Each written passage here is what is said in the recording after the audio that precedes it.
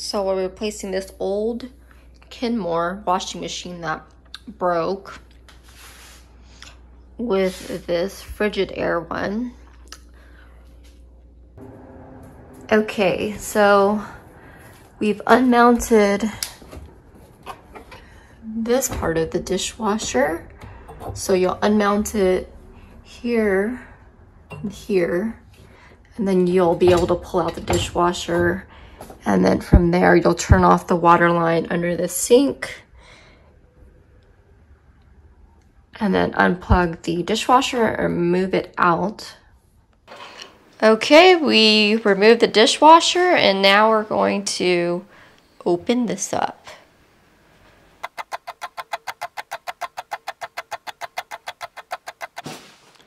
I guess they tested it because there's some water right here. Hmm.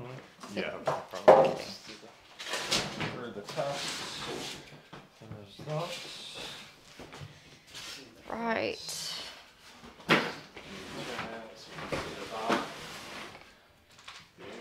Side. Right, it's ready to install now.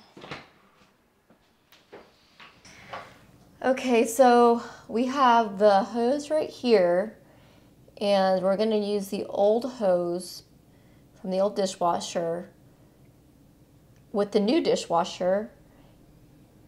And we're going to use the same water line but it needed an adapter to attach to the new dishwasher so we had to run to Lowe's to grab the adapter. And it also comes with um, several other adapters right here so just in case that one doesn't work there's other ones you can choose from and this is a new hose, so you can always just save the new hose just for a backup. So screw the adapter on, and then you'll attach everything to the dishwasher. I'm glad we left that bowl there where the original hoses because look how much water it's accumulated. So we have a dilemma. It doesn't come with a power cord. So we are going to try one solution first. This is our old washer. We're going to use the old power cord from the old washer and put it to the new washer. Yay!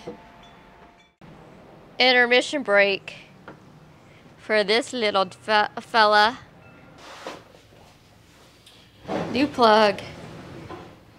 Turns on. Okay, the dishes are fully loaded.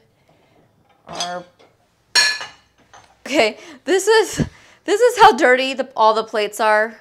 I don't like putting the knives like that because you can accidentally fall onto the dishwasher and hurt yourself. So now let's start a test load. So I'm going to use the Cascade sample they gave us. Okay, so we press start. We're going to do normal wash. And I guess you have a favorite button.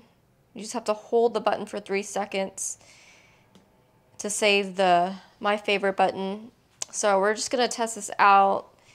Um, start, and then we have dry, max boost, water pressure, scour. Okay. And over here, it's wash temp, sanitize, high, and normal. So let's start.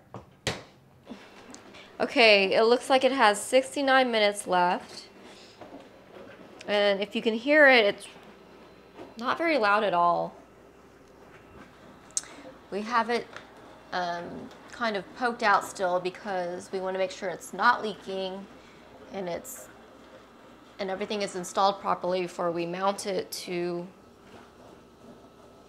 before we mount it in place. Okay, so it's done. So let's take a look at it. Shows clean right there. this dish right here. This is the dirty dish that I showed you. And it's clean. Wow! Everything looks pretty clean. Yep, everything looks clean.